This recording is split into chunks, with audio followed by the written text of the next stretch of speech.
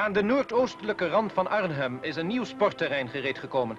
Een gemeentelijk terrein dat het domein zal zijn van de Arnhemse voetbalclub Vitesse.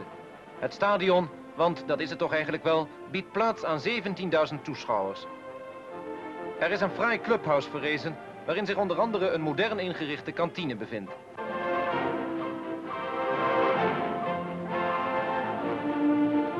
Er zijn acht kleedkamers en natuurlijk douches en wat er allemaal zo bij hoort.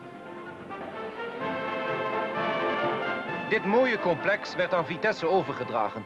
De oud-spelers van de club, onder wie erevoorzitter Herberts en de beroemde doelman Geubel, defileerden voor de autoriteiten, gevolgd door de in tenue gestoken seniorenelftallen.